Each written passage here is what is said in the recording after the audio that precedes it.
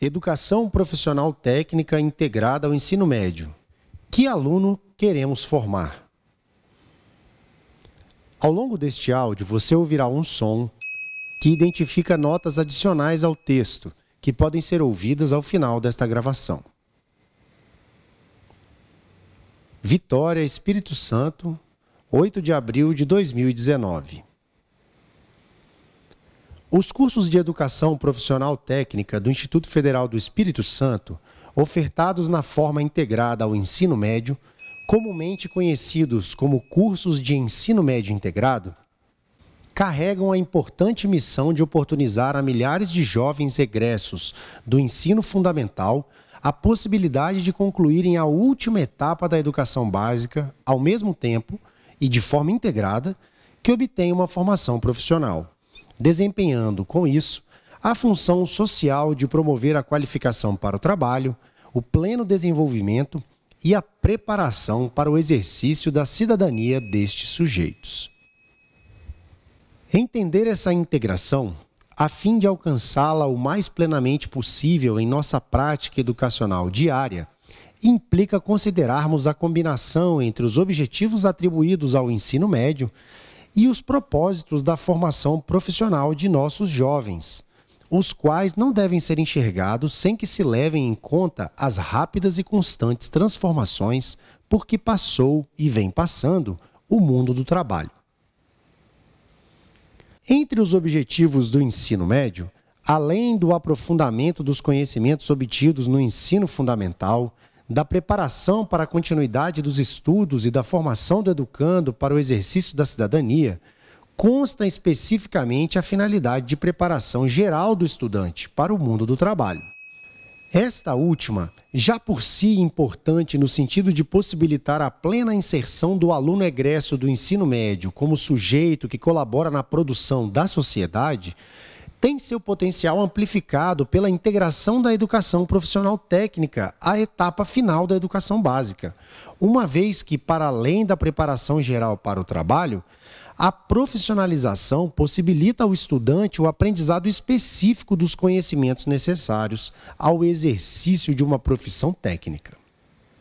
E é justamente aí que se torna necessário levar em consideração a fluidez e a dinamicidade do atual mundo do trabalho, que, influenciado pelo desenvolvimento tecnológico e pelas novas possibilidades que ele trouxe à organização social e aos processos produtivos, tem demandado profissionais com capacidades mais aguçadas de raciocínio e com autonomia intelectual aptos a dar respostas criativas e eficazes aos problemas com que se deparam. Isso sem falarmos nas aptidões de natureza relacional, cuja importância tem sido redimensionada desde a introdução do conceito de inteligência emocional nos estudos sobre as múltiplas inteligências. Tendo isso em mente, o que então deve ser a educação profissional? Que aluno queremos formar na educação profissional técnica integrada ao ensino médio ofertada pelo IFES? A resposta a essas perguntas requer que se adotem, na prática pedagógica cotidiana, dois fundamentos teóricos essenciais: o trabalho como princípio educativo e a pesquisa como princípio pedagógico, atrelados ao conceito de omnilateralidade. Levar em consideração este conceito significa necessariamente empreender esforços para ofertar uma educação profissional que não se limita à preparação para o mercado de trabalho, mas garante ao profissional, egresso, o direito a uma formação completa para a leitura de mundo e para a atuação como cidadão, capaz de realizar com qualidade suas atribuições operacionais e de compreender a gênese científico-tecnológica e o contexto histórico-social subjacentes ao trabalho que realiza. Entender o trabalho como princípio educativo implica reconhecê-lo como meio pelo qual o homem satisfaz suas necessidades, transformando, para tanto, a natureza e a sociedade. Dessa forma, o trabalho constitui-se também como força que impulsiona a produção dos conhecimentos necessários para otimizar esse processo de construção e transformação da realidade humana. Conhecimentos que, sistematizados num conjunto capaz de explicar os fenômenos naturais e sociais, constituem a ciência e, aplicados à resolução prática dos problemas do trabalho e às necessidades do coletivo, constituem a tecnologia. Assim, a aplicação efetiva desse importante fundamento da educação profissional técnica de nível médio em nossos currículos requer que direcionemos nossas práticas para uma formação que permita ao estudante transformar sua realidade a partir dos conhecimentos construídos na vivência escolar. Como essa modalidade de ensino, fundamentalmente importante para a identidade dos institutos federais, concentra em sua organização a integração entre formação geral e profissional, frequentemente surgem no âmbito de nossa prática questionamentos acerca da real função do ensino médio integrado. Entre docentes e equipe pedagógica, não raramente ocorrem debates nos quais, em algum momento, os objetivos educacionais desta formação são colocados em questão, principalmente ante o fato de que parte expressiva de nossos estudantes de ensino médio não se insere no mercado de trabalho atuando na profissão em que o IFES lhes forma. Por outro lado, resultados de excelência como os do Enem podem às vezes suscitar a compreensão de que nossa missão institucional seja a preparação adequada para tais exames.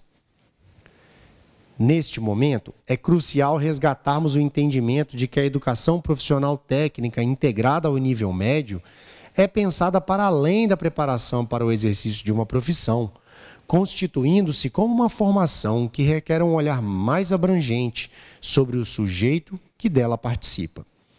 Devemos considerar que o estudante, como ser social, carrega em sua experiência acumulada diferentes saberes, aprendizagens e histórias de vida, que devem ser potencializados pela escola em todas as suas dimensões.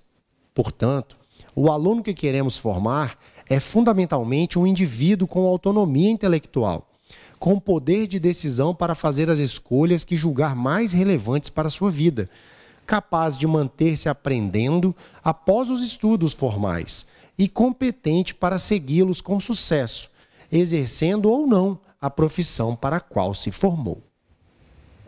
Refletir sobre o perfil deste egresso é importante ao dialogarmos sobre objetivos, conteúdos, métodos e atividades curriculares que trabalharemos tendo em mente que uma formação capaz de construir essa autonomia intelectual implica possibilitar o desenvolvimento do estudante na perspectiva omnilateral, partindo da noção do trabalho como princípio produtor e transformador de nossa realidade, para englobar os conhecimentos científicos, tecnológicos e culturais associados, assim como aquelas competências de caráter relacional, emocional e afetivo pôr em prática essa concepção requer que superemos a dualidade curricular entre conhecimento propedêutico e profissional, assim como a fragmentação do conhecimento, compartimentado em disciplinas. Isso não implica, é claro, a necessidade de extinguir as disciplinas, que se constituem num importante facilitador do processo de ordenação do conhecimento. Implica, antes, a urgência de reconhecer as inúmeras possibilidades de diálogos entre disciplinas distintas e, a partir disso, conferir mais vivacidade e dinamicidade ao processo de escolarização, por vezes tão pouco motivador para o estudante. Neste sentido, dialogar a fim de construir um currículo mais integrado e interdisciplinar é um importante passo para se promover uma compreensão global do conhecimento que articule a prática, a teoria, a pesquisa, a inovação e a extensão em prol do aprendizado efetivo.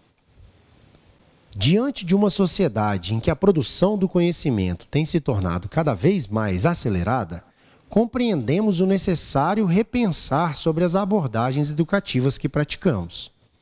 É importante reconhecer também que, na relação com o nosso público, estamos, em geral, diante de um estudante mais ativo imerso no mundo tecnológico, com capacidade de adquirir e produzir conhecimento e desenvolver habilidades de forma mais autônoma.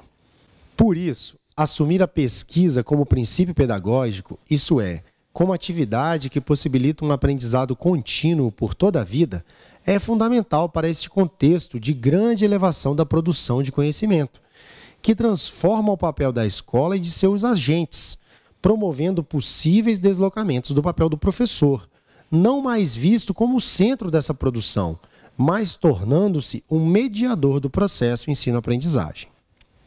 Assim, é importante compreender que nossos currículos precisam ser pensados a partir desse princípio, aproximando disciplinas em prol da compreensão holística de um problema empírico e sugerindo práticas que aproximem mais os estudantes de suas realidades, conferindo-lhes papel menos passivo, mesmo no aprendizado de conteúdos de natureza teórica. Expostos estes princípios, cabe nos perguntarmos: o que temos feito para ofertar uma educação profissional técnica integrada ao ensino médio, afinada com o objetivo de proporcionar essa formação omnilateral do educando?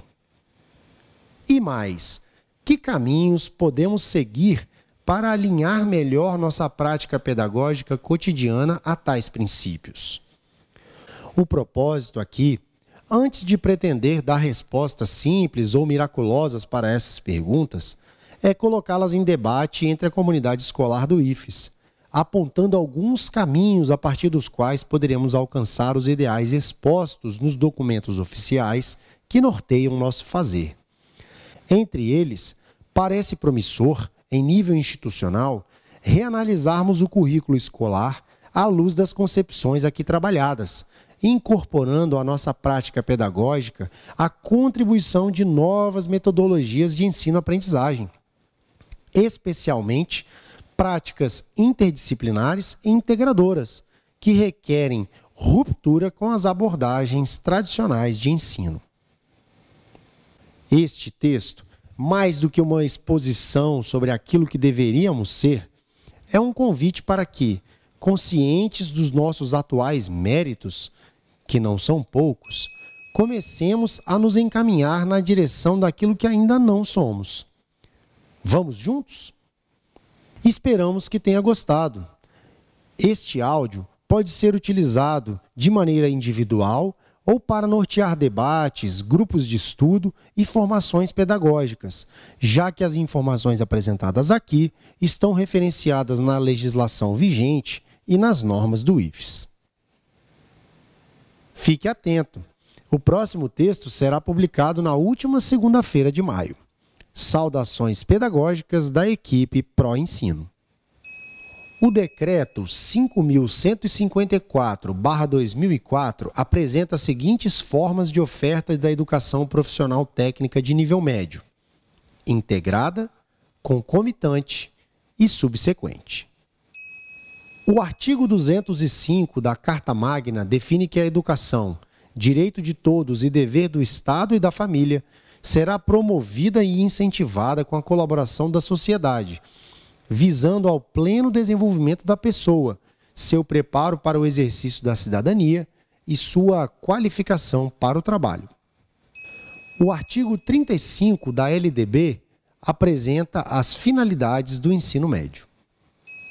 Sobre o assunto, recomenda-se a leitura do livro Inteligência Emocional, de Daniel Goleman por abranger um conjunto de aptidões relacionadas à percepção das emoções e de seus efeitos no próprio indivíduo e também naqueles que o cercam, parece ser de suma importância a adoção em nível escolar de práticas que propiciem o cultivo da inteligência emocional entre os estudantes, principalmente em tempos nos quais os jovens sofrem com um senso de urgência cada vez maior em relação às angústias envoltas na definição de suas carreiras tais como a dificuldade de conciliação entre as aptidões pessoais e a estabilidade econômica, por exemplo.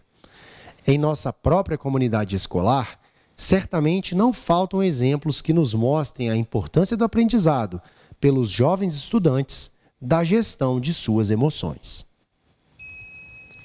O parecer do MEC que trata do assunto é uma importante dica de estudo Nele conta que, abre aspas, a concepção do trabalho como princípio educativo é a base para a organização e o desenvolvimento curricular da educação técnica de nível médio, em seus objetivos, conteúdos e métodos. Considerar o trabalho como princípio educativo equivale a dizer que o ser humano é produtor de sua realidade e, por isso, dela se apropria e pode transformá-la. Equivale a dizer ainda que é sujeito de sua história e de sua realidade.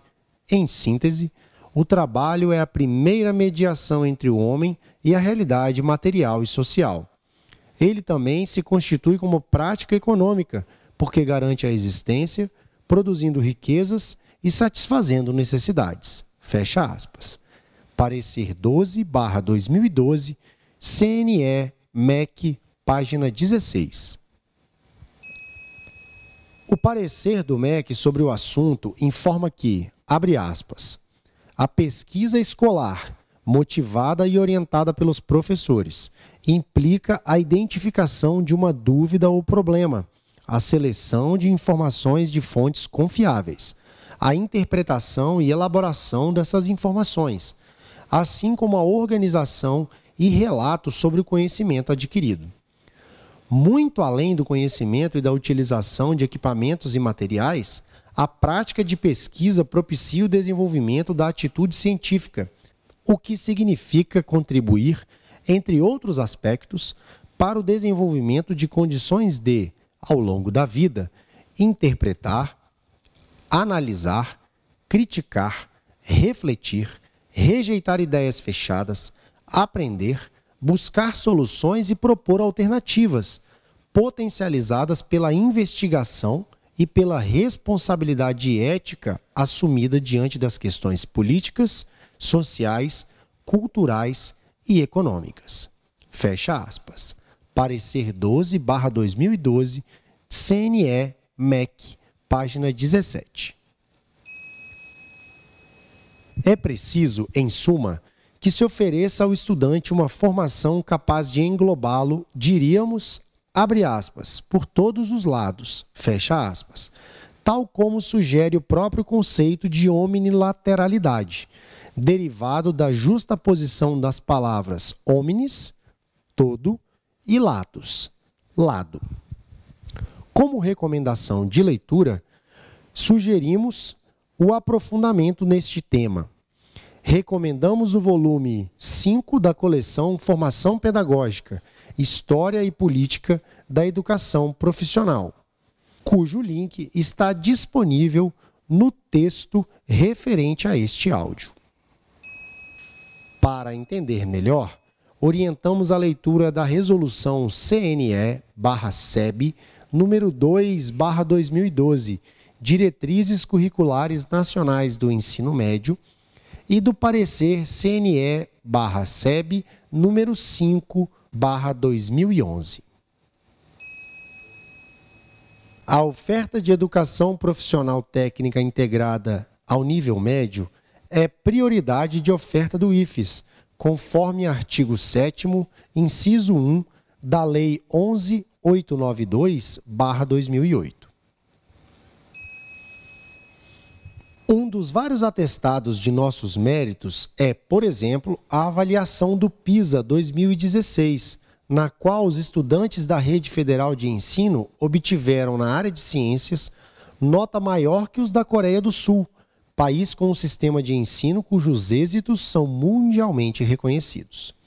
Você pode ler mais no Intercept Brasil, cujo link está disponível no texto que acompanha este áudio.